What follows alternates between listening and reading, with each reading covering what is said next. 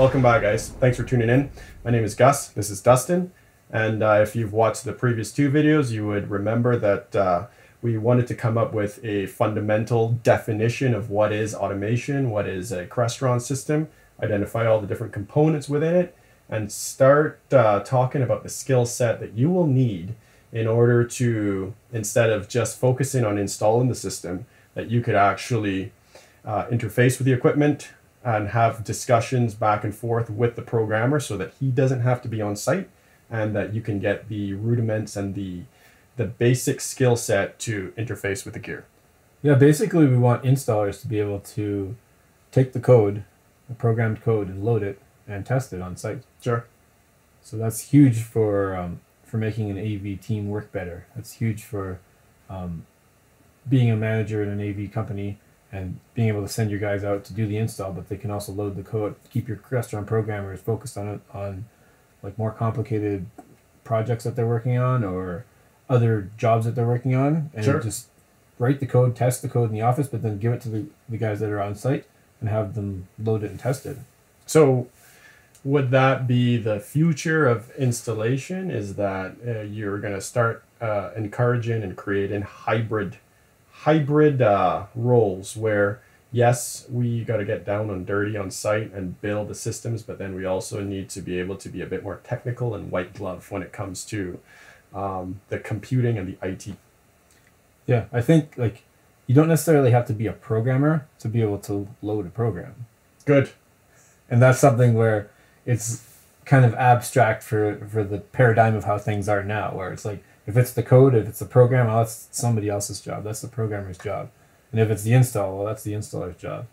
Um, as a programmer that goes on site sometimes i have to switch around the tx and rx wires and i don't really mind. It's just what i gotta do.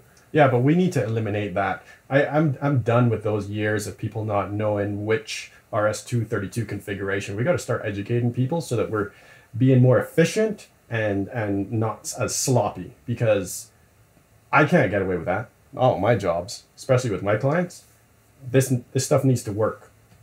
And I think at the end of the day, the, the project needs to work. It needs to be finished. And whatever means we can get there in a more efficient way is better for everybody. Okay. So if we're taking away a little bit of role from the programmer and putting on the install um, or commissioning team, um, programmer can work on other stuff. So it's not really taking away, it's enhancing. That's my feeling of it, anyways. Okay. It's just I think historically, commissioning was always uh, perceived as the role of the programmer because it was very technical and um, you know I don't think a lot of installers are interested in opening up a laptop and looking at uh, DOS from from my experience. I, I definitely don't want to do that. No, it's not very much fun. But I think the real prog- problem that we've got here is if you're an installer trying to learn how to do all this stuff, first of all, you might not even think that you need to learn some of this stuff, right? From a from a business owner perspective, two guys present themselves to me to help me on a job. One of them is strictly an installer, which is good, but one of them is an installer with the ability to load code and test, commission, and uh, collaborate with the programmer. Nine times out of ten, I'm gonna want choice number two. The reason being is because it's going to make my day easier and it's going to get the job done quicker and it's probably going to cost me a little bit more but that means that i know the job's going to get done and i don't have to shuttle or fly or bring the programmer to site to fix little sloppy issues that were created in the installation Right. And how are you going to learn all this stuff? well you got to get a programmer and pay him and say hey man i want to learn this can you break it down into bite-sized chunks and uh, teach me how to commission Yeah, that or go to a bunch of manufacturer training. I mean, you'd probably have to go to to some networking course to kind of learn some a whole bunch of networking stuff where you only really want the fundamentals. sure Um, you'd go to Crestron training and learn a bunch of stuff about programming when really you just want the fundamentals. okay And all that stuff takes a quite a big time commitment. Okay. But then you also have to figure out what you need to know and what is kind of irrelevant. Now, with every troubleshooting session, with every time we we get to the point where Dustin has taught us how to upload a program and he has taught us how to test without him being on site. But would you say that every time we do that, we will encounter a specific nuance or a specific problem that uh, improves our skill set? Yeah, for sure. Um, every time you work with it, you're going to get better.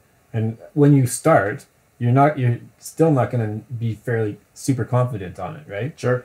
You're going to have to kind of take baby steps and kind of as you go, this is this is kind of the path you need to follow. This is how you load the program, but here, try it out a few times. But the first one is usually the biggest one, the most difficult one, right? So we have one. And that is our role today is that we are going to break it down. You are going to show us all of the different software, the computer that you need, the the networking that you have to understand, and you're going to try and make it so that the installers can digest this information. The cool thing about it is you can make it pretty simple. Good. There's a lot of complexity. You can make it super complicated. And I think a lot of the courses try to tell you everything, right? They want to teach you everything about certain narrow silos of, of information. Not interested. But we're trying to kind of boil that down to what would you as an installer need to know to be able to load a Crestron program? What software do you need? You don't need all the software. You don't need all the Crestron software to do it. Well, bear in mind that we've already put in like a good solid day's work just getting everything done getting everything built it could be a large system multiple days multiple people on site. The last thing we want to do now is to start over from scratch and learn a completely new trade. Uh, nothing would ever get done. So let's put it this way. Give me the bare bones basics to interface with automation and load a code and test it and troubleshoot so that I can continue being good at my job, but also add another level of skill on top of it. So that way, I know for a fact that I am indispensable. And from our collective AV experience, both of us know that the industry needs this. I get asked for it all the time.